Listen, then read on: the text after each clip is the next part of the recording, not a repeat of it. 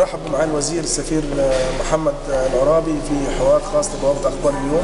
أهلا بك معالي الوزير. أهلا بيك يا فندم وأنا يشرفني إن أنا أكون معاك في بوابه أخبار اليوم. شرف لينا يا معالي الوزير. آه بداية كنا عايزين نعرف حضرتك إحنا في جوله دلوقتي آه، في اتجاهنا الحلايب وشلاتين آه، علشان جوله مع حركة الصف المصري العربي وحضرتك الأمين العام فيها. كنا عايزين نعرف الفكرة جت من إيه أو يعني ليه اخترتوا بالذات شلاتين عشان تعملوا فيها الجولة دي؟ يعني طبعا سؤالك. إحنا مهتمين. اولا الحركة هي يعني أعتقد جات في توقيت مطلوب فيه إن يكون في أفكار من أجل وحدة الصف داخل مصر، مصر محتاجة إنها تعيد ترتيب البيت من الداخل ومحتاجة إن هي تعيد اللحمة مرة أخرى، محتاجة إنها تعود إلى مصريتها ومحتاجه إن هي يعني يكون فيه يعني عارف نوع من التسامح والقبول الآخر كل ديت أهداف آه، الحركة بتهدف إليها.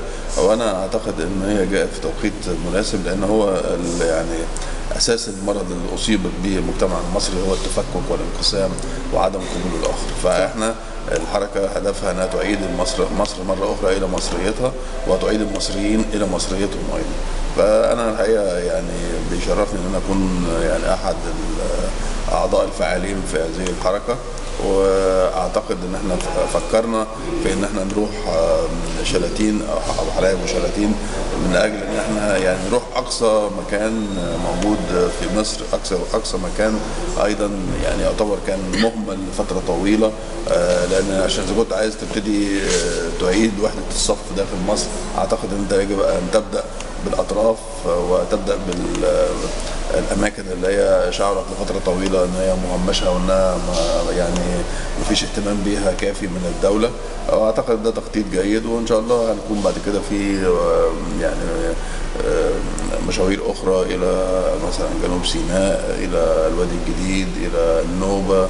الفكرة إنه إن إحنا لما نقوى داخليا ونقف مع بعض داخليا نستطيع بعد كده إن إحنا آه، يكون لنا تواجد أكبر في العالم العربي ونسعى إلى أن يكون بقى يعني الفكرة وحدة الصف تبقى موجودة حتى على مستوى الدول العربية ومستوى الشعوب العربية. معالي الوزير الفكرة بس اللي, عملت حضرتك عملت جولات في القاهرة والمنوفية وادينا في شلاتين وحلايب. الفترة الجاية في جنوب سيناء والوادي الجديد إن شاء الله. طب الدول العربية هل هيكون فيها جولات؟ أكيد آه، إن شاء الله إحنا بنسعى إنه يمكن في الشهر القادم يكون في جولات على الأقل في ثلاث دول عربية آه، قد تكون السعودية والإمارات والبحرين و- أو ممكن نضيف الكويت أيضا إذا قدرنا نوفق المواعيد. آه، وأنا أعتقد إن ده هيخدم أهداف الحركة. وإحنا رايحين آه، لهذه الدول بنقول لهم اولا متشكرين على دعمكم ووقفكم بجانب مصر. وفي نفس الوقت بنبلغهم رسالة إن مصر عازمة على تحقيق الديمقراطية الحقيقية وعلى الاستمرار في آه، تطبيق خريطة المستقبل. وإن إحنا يعني كشعب خلاص اخترنا طريقنا وما عندناش أي يعني تردد في هذا الطريق. تمام. طب معاليك آه، حضرتك انت رئيس حزب المؤتمر حاليا وامين عام آه، لحركة الصف المصري العربي.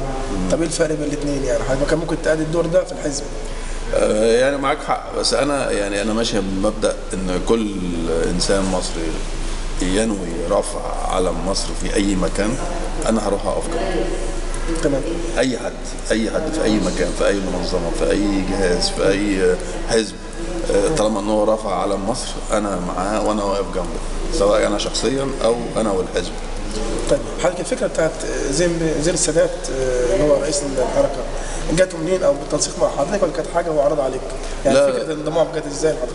لا لا هو الحقيقة كانت فكرته هو وهو عرضها عليا إحنا يعني نعرف بعض آه، من فترة وتعرف طبعا اعرف آه، الأستاذ أنور والأستاذ آه، عصمت كمان آه، ولكن أنا عجبتني الفكرة لأن هي خارجة عن الإطار السياسي التقليدي اللي هي الأحزاب وتعرف بقى تنافس الأحزاب وكده. دي فكرة أنا شايف إن فيها يعني نوع من لم الشمل وجمع يعني أطراف الشعب المصري بطريقة فيها سلاسة وما فيهاش أي تحزب أو أي أفكار سياسية أو أي خلافات. فأنا عجبتني من هذا المنطلق ورحبت طبعا بيه على طول.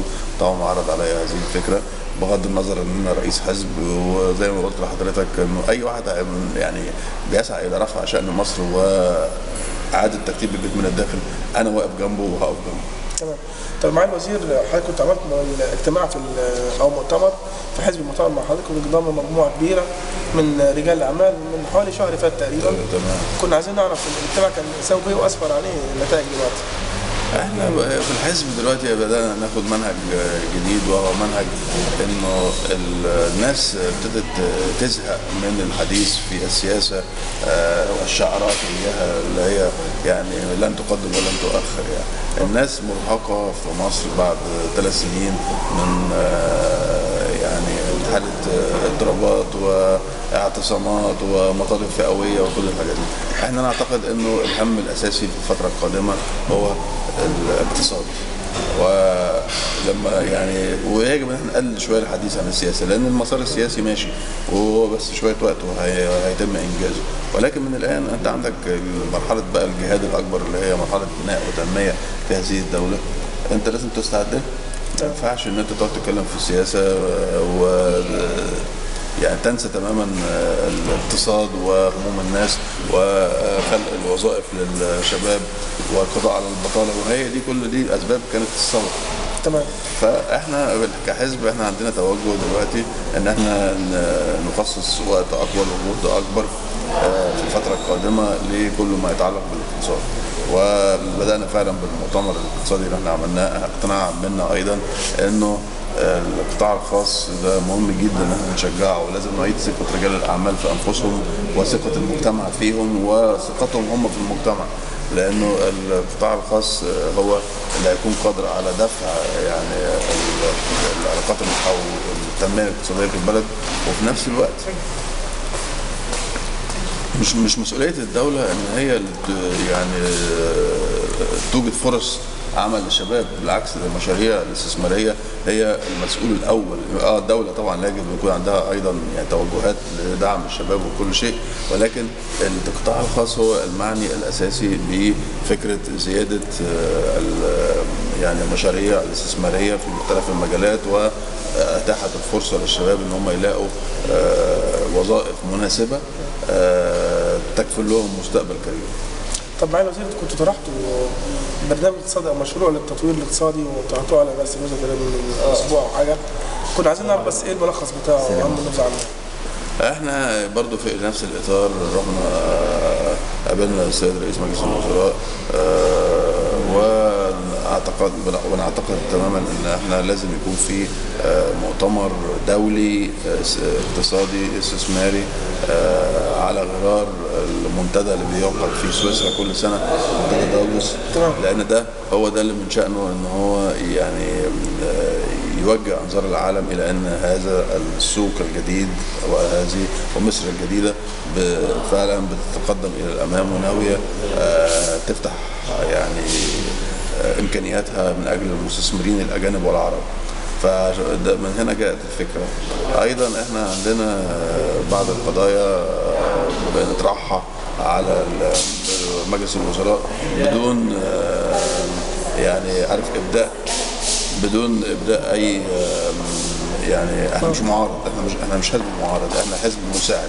تمام. بيساعد الحكومة. تمام. يعني اتكلمنا معاهم في موضوع مثلا الفحم استعمال الفحم في الطاقة آه الموضوع القادم هو موضوع مهم جدا جدا يمكن محدش واخد باله منه موضوع صناعة الأدوية في مصر تمام. إحنا ناويين نركز عليه تركيز شديد جدا لأن الأدوية آه، آه، بقت في العالم دلوقتي يعني جزء من الاحتكار الدولي اللي بيستخدم كسلاح لإخضاع الشعوب الأخرى آه تمام.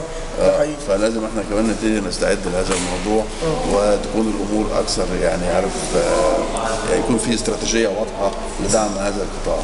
آه، أيضا آه، إحنا بنتكلم على موضوع آه، سوق العقارات إن إحنا آه، عايزين نطرح مبادرة إنه للعالم العربي كله لأن طبعا تعلم إن الاستثمارات العربية في الخارج في أوروبا وبالذات هي بتصل في سوق العقارات حوالي 60% تمام. فإحنا عايزين نكون إحنا أيضا سوق مناسب آه، أو جاذب لل هم يتواجدوا في آه، مصر ك نقدر نقول عليها إيه؟ إن بيتك الثاني في يكون في مصر.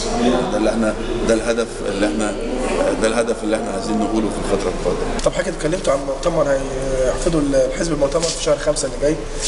شهر ستة. شهر ستة. مؤتمر عالمي كنا عايزين نعرف هل هي المحاور دي اللي ضمنها المؤتمر أو هتدعو شخصيات عامة من بره لا. المستثمرين العرب ولا هيبقى على النطاق المصري أو المحلي؟ لا لا لا, لا ده هيكون نطاق دولي.